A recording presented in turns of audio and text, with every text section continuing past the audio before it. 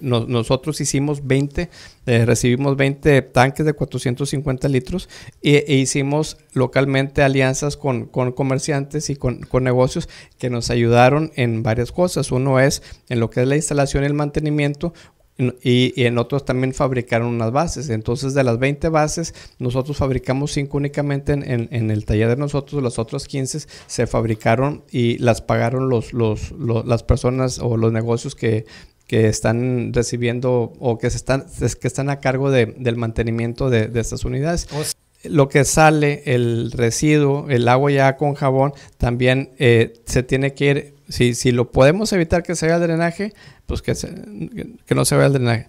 a áreas, áreas verdes, a jardines, entonces toda esa agua que la reciclamos y utiliza, lo utilizamos para, para áreas verdes. Hasta el momento, te comento, han sido más de 50 mil personas beneficiadas.